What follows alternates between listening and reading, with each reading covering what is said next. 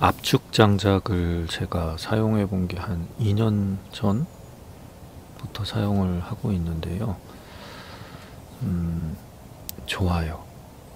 뭐 어떤 제품을 떠나서 일단 압축 장작으로 나온 제품들이 일반 장작과 다른 점이 어, 화력이 일정하고 또 오래 타고 대부분 화력도 또 좋아요.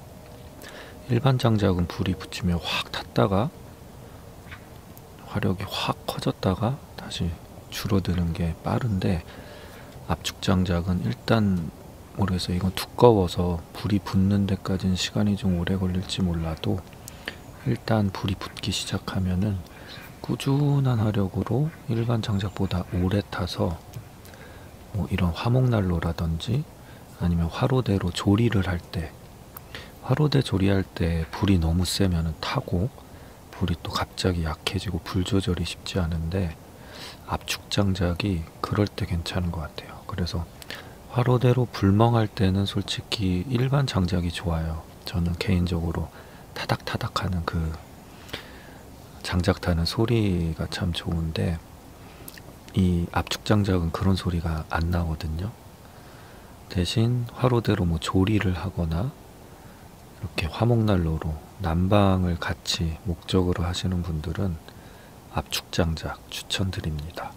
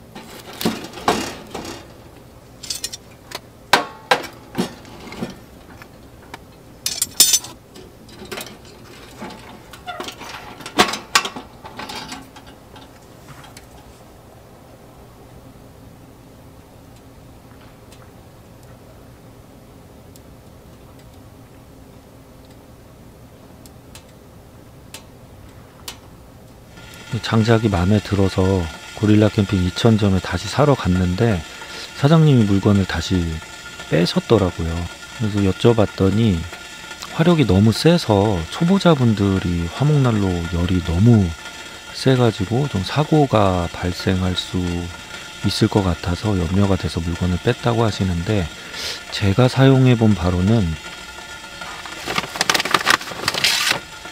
이 얇은 압축 장작 있죠. 이게 화력이 훨씬 더 세요. 그러니까 여러 개를 넣었을 때 화력이 굉장히 세고 이 굵은 압축 장작은 오히려 굽다 보니까 하나를 넣어도 이제 겉에부터 타는 거예요. 지금 보시다시피 겉에부터 타다 보니까 어, 생각보다 화력이 막 엄청 너무 세지 않고 적당한 화력으로 은근하게 오래 유지되는 것 같아요. 겉에부터 타니까 왜 저희 이제 굵은 통나무 같은 거 떼다 보면 화력이 엄청 커지지 않고 겉에만 이렇게 은근하게 불이 타오르는 현상을 볼 수 있잖아요. 그런 것 같아요. 그래서 제가 볼 때는 화목난로용으로도 오히려 괜찮을 것 같아요. 오래 타니까 화력이 너무 과하지도 않고 일단 제 첫 사용 소감은 그렇습니다. 계속 고릴라 캠핑에서 취급을 해주면 좋겠는데 계속 사서 쓸 것 같은데 개인적으로 그냥 일반 장작, 굵은 장작을 선호하는데 최근에 샀던 장작이 건조가 너무 안 돼서 지금 못 대고 있거든요. 세 박스나 샀는데 물이 너무 나와서 근데 압축 장작은 뭐 대부분 건조도 잘 되고 음, 괜찮은 것 같아요. 이거 사장님 이거 다시 들여놔 주세요. 괜찮은 것 같아요.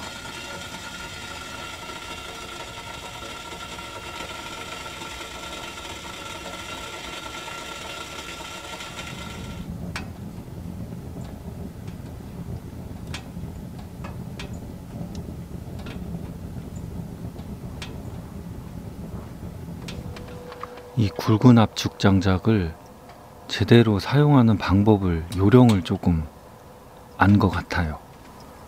좀막 잘게 쪼개져 있거든요. 그러면은 통으로 넣었을 때보다 확실히 화력이 더 좋아지는 것 같아요. 그래서 아예 장작을 넣기 전에 도끼나 망치 같은 걸로 이렇게 두드려서 그냥은 안 잘리니까 망치로 부시면 저렇게 탁탁탁 부서지지 않고 쪼개지거든요. 쪼개서 넣거나 아니면 통으로 넣은 다음에 한 30분에서 1시간 정도 떼면은 어, 집게로 이렇게 툭툭툭 두들기면은 이렇게 부스러져요. 저렇게 그러면은 이제 또 화력이 세지고 오래 타요.